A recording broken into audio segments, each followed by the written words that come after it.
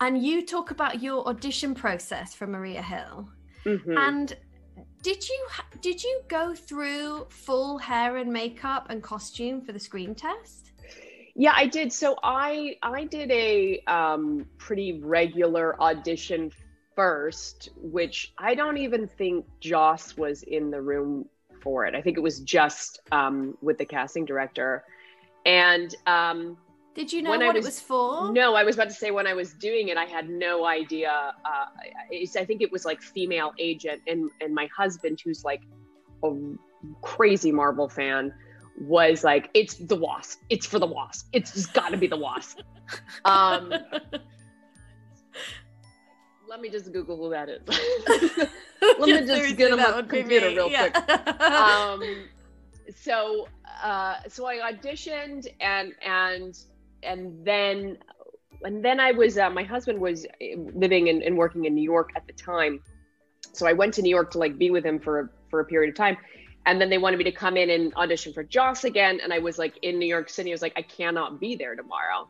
But luckily, because I have a relationship with Joss, um, he was like, okay, she's fine. Let's pass her up to the screen test, which was super weird um, and really intense. Like, if you're an actor, I feel like any job you actually want to get, you'd never get if you're auditioning Yeah. for it because Yeah. it's just like so you're such a wiener. Like you just like you're so desperate and you're Yeah. just like you, you just smell Please. you just smell you're like just radiating desperation and need and like a desire to be liked yeah. so um it was it was what it was but it but the setup of it was like five brunettes um and like one blonde. And i recognized like one of them just from i think we worked together on something. Maybe she i think she did a guest star on how I Met Your Mother or something.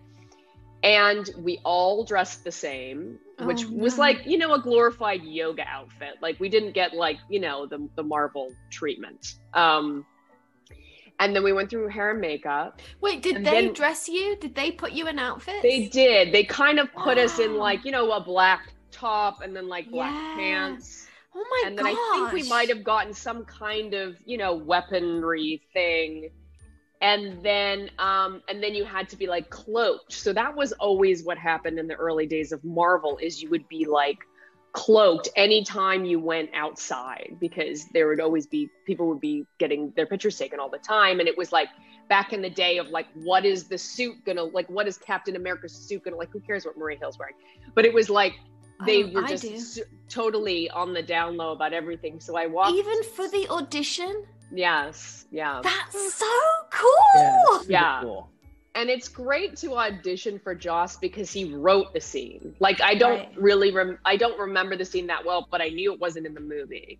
So he like wrote a proper scene that had like juicy stuff to do, not like you know spelling out what was what explosion was coming up. That Maria Hill always like her, her job is usually like, "Hello, audience."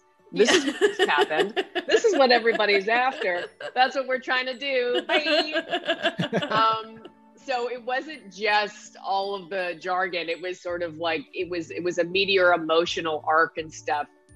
And i got there and like you meet sam jackson and you just like throw up. Oh my Like- god. Hello sir. Like i'm like Hello, subject. just like i don't even know what i'm like i think i just like kind of did one of those glazes that i learned very well in my childhood like that's going up. I'm not going to remember any of this.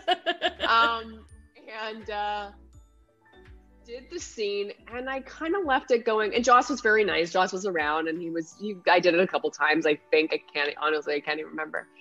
And i was like you know what? I did fine i didn't get it i did fine i didn't embarrass myself or joss because i think that was my Yeah. focus it was like joss kind of vouched for me in this situation Hmm. so I felt very like nervous that I was going to come in and bomb Sure. and then he was So- going to regret. Yeah. Had the material evolved from your initial read to then what you were screen testing? So this was the first time No, was I think it was the same scene. I think. I honestly I don't know, but it was like a decent like it was like a 3-page scene. Like it was a decent scene.